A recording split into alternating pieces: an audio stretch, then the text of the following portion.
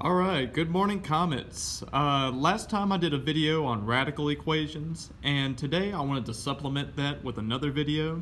This is what happens if you have an extraneous solution. So what if you're solving a radical equation and all of a sudden you get a number that does not check out? In other words, you get a solution that when you plug it back in to check, it does not work. I want to show you a quick example of what I mean by this and I hope you'll follow along with me. This is square root of x minus 2 minus 4 is negative 6. So, as you know, the first step is to isolate the radical on one side. Now, I can get that square root on the left side by itself. I only need to get rid of that negative 4. And I can do it by adding 4. So now that I've added 4, what happens on this side? The square root stays the way it is, and the negative 4 disappears to the right side. Negative 6 plus 4, negative 2. Good. So now let's go ahead and get rid of that square root symbol. To get rid of a square root, I have to do the opposite of square root. I have to square it.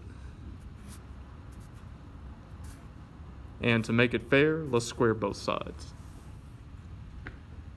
All right, so whatever's inside the radical is just gonna come on out. So I get x minus two.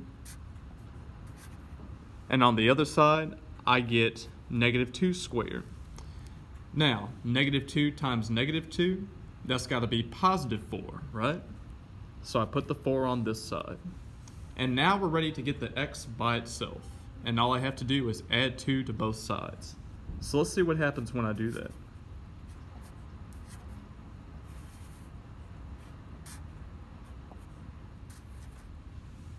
So now we have x equals 6. Let's go ahead and check that. So when I put 6 back into the x spot, I get 6 minus 2 on the inside, and I'm going to have to subtract 4 to get back to negative 6. Let's see if that works. So the square root of 6 minus 2, that's the same thing as the square root of 4. All I did was I subtracted the numbers on the inside.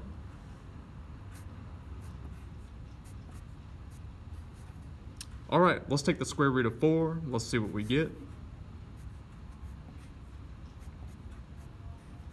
And I still get 2. So what's 2 minus 4? And this is the interesting part. You're going to get negative 2, but on this side, you're still going to get negative 6. So, is negative 2 equal to negative 6? Of course it's not.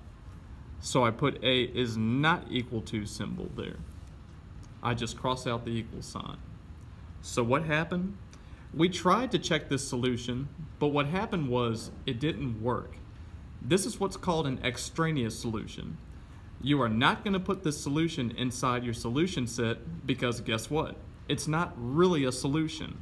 So the answer is no solution. And then we can put the empty set right next to it to show that we have no solution. All right. Thank you guys for watching. Remember to like and subscribe.